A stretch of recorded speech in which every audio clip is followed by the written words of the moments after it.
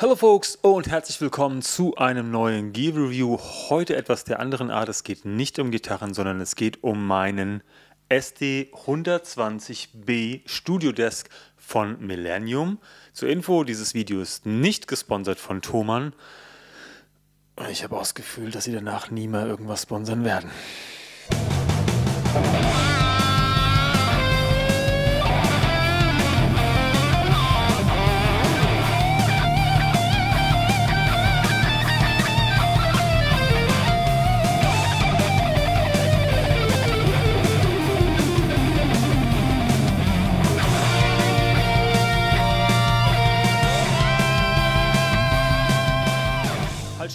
Den letzten Satz kann ich so nicht stehen lassen. Denn ich habe 20 Jahre für Mitbewerber vom Musikhaus Thomann gearbeitet, aber ich kann gar nichts, aber auch überhaupt nichts Negatives sagen gegen die Firma Thomann, gegen deren Angestellte und am allerwenigsten über Hans Thomann selbst. In fact, er war einer der ersten, der mich kontaktiert hat nach meinem Ende bei Session damals. Okay, das musste raus. Zum Tisch. Im August 2022 habe ich mich entschlossen, mein eigenes kleines Video-Home-Studio zu schaffen. Vorher habe ich das Ganze im Wohnzimmer gemacht und dann war hier ein Räumchen frei und dann habe ich gesagt, ich greife das jetzt an. Ähm, das Budget für das Studio belief sich auf schmale 1000 Euro und von denen mussten neben Abhören eben auch noch ein Master Keyboard und ein Studiotisch beschafft werden. Und da ich ein relativ klares Bild hatte, wie das Ganze später vor der Kamera wirken soll und ich wenig Platz in dem Raum hier habe, plus ich ein kleines Budget hatte, fiel am Ende die Wahl auf den Millennium SD120. Für alle da draußen, die nicht wissen, was Millennium ist, wobei das Thomann recht klar kommuniziert, es ist eine Eigenmarke des Musikhauses Thomann. Was bietet uns der Tisch? Schauen wir mal auf die Website des Musikhauses Thomann und gucken uns die einzelnen Facts an. Ihr seht schon, ich habe den Tisch in schwarz gewählt. Das ist ein Fehler, den ich auch nicht mehr begehen würde. Man sieht halt einfach jedes Staubkorn da drauf.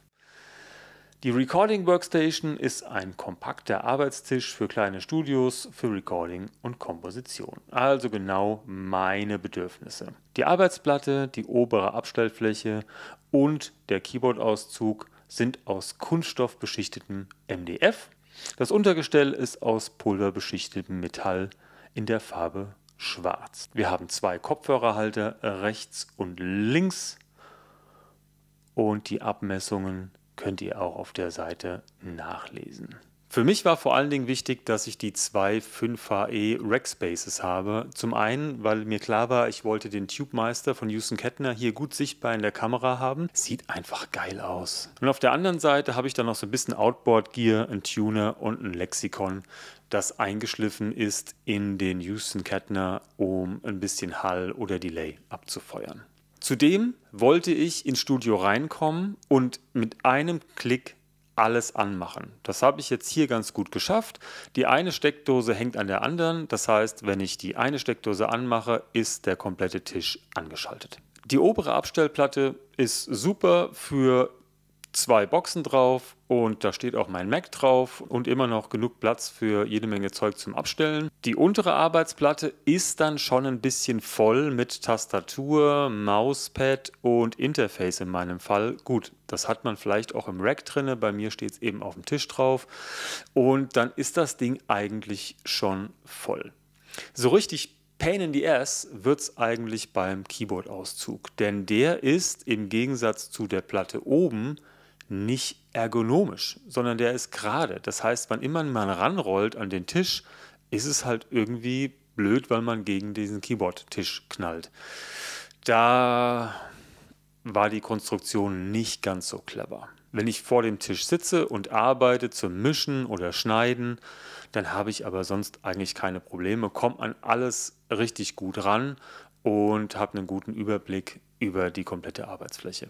Kommen wir jetzt zu den Pain Points. Keyboard-Auszug habe ich schon beschrieben. Das ist eine Sache, die man hätte besser machen können. Die andere Sache ist die, dass wann immer ich eine Kamera befestige am Studiotisch, ich aufpassen muss, dass ich nicht gegen den Tisch stoße. Ich kann das jetzt mal mit dem Mikrofon hier zeigen. Das passiert nämlich dann. Bei uns in Hessen sagt man, das ist gagelisch. Das ist so ein schönes mittelhessisches Wort für instabil. Also der Tisch macht erstmal optisch sehr viel her, ist aber von der Konstruktion her ja billig. Und das rächt sich dann in dem Moment, wenn man da mal dran stößt. Viel schlimmer ist es halt, wenn du gerade Akustikgitarren aufnimmst, äh, irgendwie gegen den Tisch kommst und dann hört man auch noch dieses Geräusch. Ich habe mich schon ein paar Mal unter oder neben den Tisch gelegt und mit einem Imbus immer wieder nachgezogen. Äh, es ist aber nicht so, dass sich da was lockert, sondern es ist einfach so, dass es nie fest ist. Alles in allem ist das aber auch der einzige große Kritikpunkt, den ich an den Tisch habe, Okay, der wiegt natürlich schwer, wenn jemand viele akustische Instrumente aufnimmt und ja, dann da das Quietschen drauf hat. Das ist natürlich blöd. Aber ich habe gelernt, damit umzugehen und ja, es hat ja fast so ein bisschen so einen Charme, so das eine quietschende Ding hier im Studio zu haben, wenn alles sonst relativ Hightech ist. Würde ich den Tisch nochmal kaufen? Die Alternativen sind dünn gesät, sagen wir es mal so. Äh, entweder die Farbe gefiel mir nicht oder ich hatte nicht den Rackspace oder er war zu groß für mein Zimmer. Also ja, höchstwahrscheinlich würde ich ihn wieder kaufen, denn ja, das Budget war halt einfach vorgegeben. Für jeden von euch, der seine Recording-Ecke im Wohnzimmer auflösen will und auch so ein bisschen den Kabelsalat weghaben will, SD120 ist die richtige Lösung für euch. Ich zeige euch mal, wie es bei mir hinter den Kulissen aussieht. Stellt euch mal vor, das würde alles rumliegen auf dem Boden. Wie gesagt, das Optische hat bei der Wahl auch eine ganz große Rolle gespielt. Solltet ihr noch Fragen haben zum Studio Desk SD120B für Black, nehme ich mal an, dann lasst es mich wissen in den Kommentaren. Ansonsten mache ich euch den Link zur Thomann-Seite rein und dann könnt ihr selbst ein bisschen vergleichen mit den anderen Modellen, die es da so gibt. Hat mich gefreut, wenn ich euch weiterhelfen konnte. Bleibt dran. Vielen Dank fürs Zusehen. Ciao.